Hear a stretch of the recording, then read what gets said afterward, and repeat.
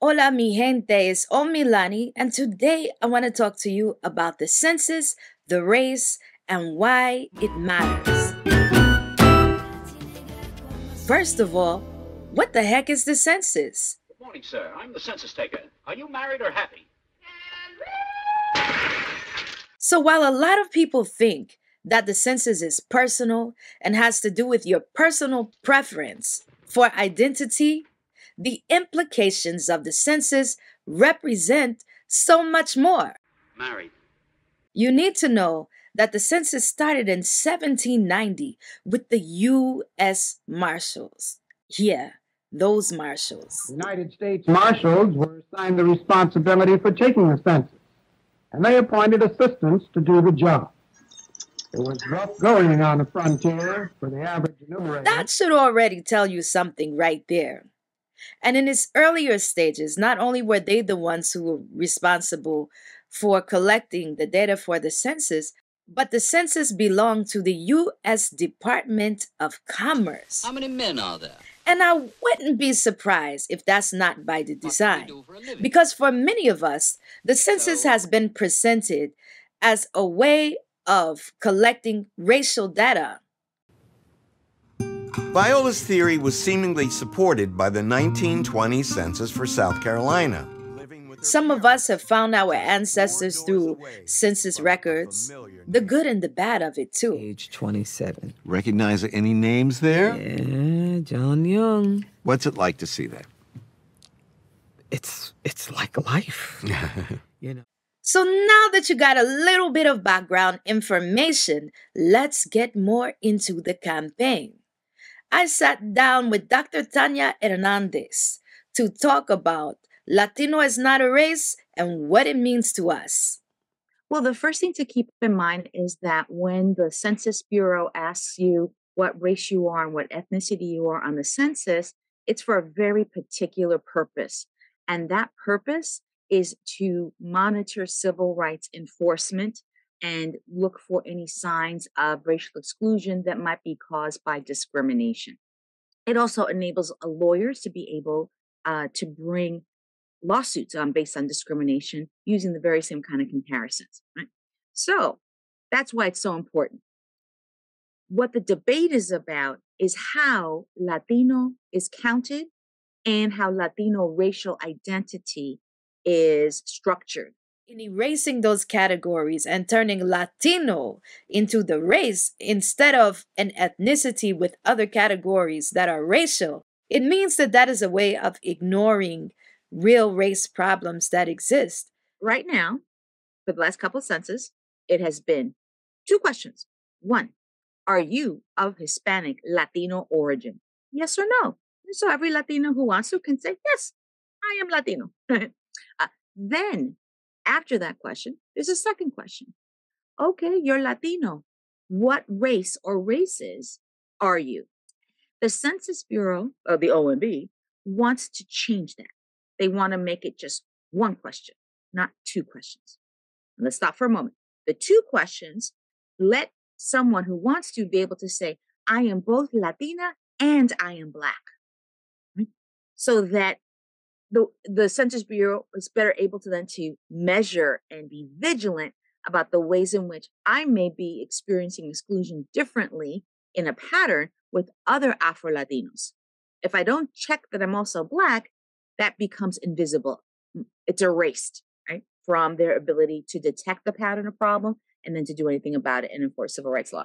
Without our categories, it not only erases part of our ancestry and part of our story, it also erases our ability to speak up and point out issues that are happening that may be not just because of our ethnicity, but also because of our race. So the proposal now from OMB, Wait, the OMB? Office of Management and Budget, so OMB for short.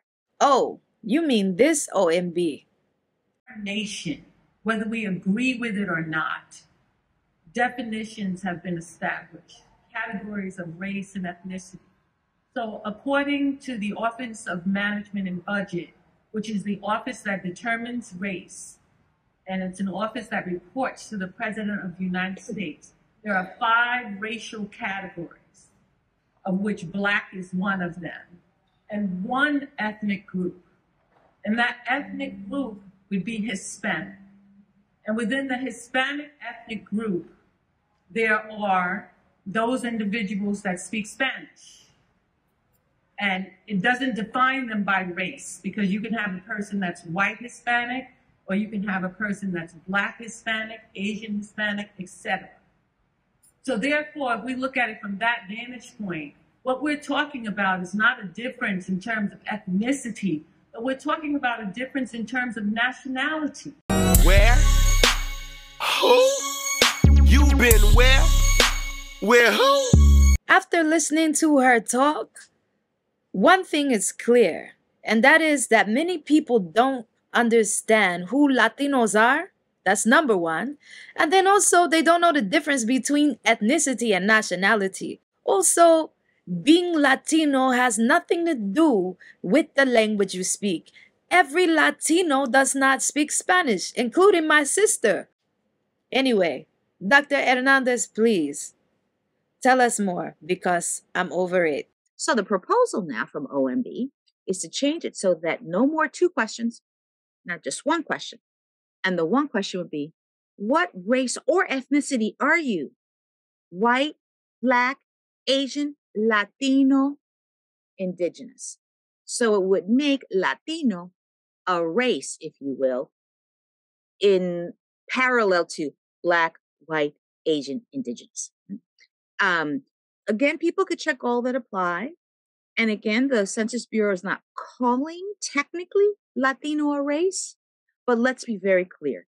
Listing Latino next to black and white as if these were both meant the same thing is a way that it makes the categories incoherent, right? It makes the pan ethnic grouping known as Latinos and Latinas y Latine, right?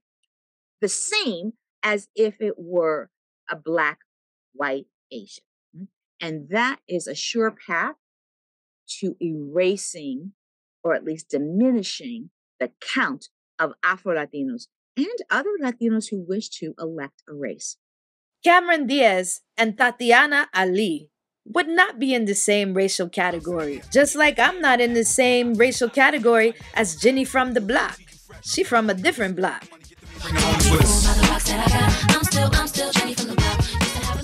Color and race is not just something that exists in a vacuum. These implications of color and race are so vast. There are so many things. Even the perception of us is affected by our appearance, our presumed category, and what we put on our applications as our race. Well, it certainly makes it seem as if there is only one way of understanding the existence of racial difference, um, as if only the US has race, and people who come from somewhere else, their ethnicity now is a race and whatever racial differences they may have experienced in Panama, Venezuela, Colombia, Ecuador, etc. All of those are irrelevant, right? Uh, so, you know, let's flip the coin for a second. This also means that someone racialized as white in Argentina, Chile, many other places, but just that as an example, they then come into the US space and the United States now with this proposal that is on foot, right, would treat their checking of Latino Hispanic on the race box as if that that, that white Argentinian Chileno has now been transformed um, into a race in those categories, which I think anyone would can readily appreciate that that's disingenuous and not reflective of our race re- realities in the United States or across the globe. This is just the surface of it all. Do your research, but also be vigilant about the choices that you make and understand that some things are not always what they appear to be. Here is how you can take action. April 12th is the deadline for submitting a comment to the Office of Management and Budget. Latino is not a race, a collective. We have a link where you just press that button. We have a sample way of doing a, uh, public commentary. You could just copy and paste and hit send, and you will be over and done with within like five seconds. Follow Dr. Hernandez and also make sure you follow Afro Latino Forum so you can get more information about what's going on. Latinegras love the skin you're in. Oh, thank you, Dr. Hernandez. And for the rest of you, don't forget to check out the Latinegras clothing line. I got some fly t shirts, I got bags, and all kinds of nice things where you can show your Latinegras pride. Amo Milani y gracias por escucharme. Who knows where this journey will lead us next? But until then, keep on loving the skin you're in.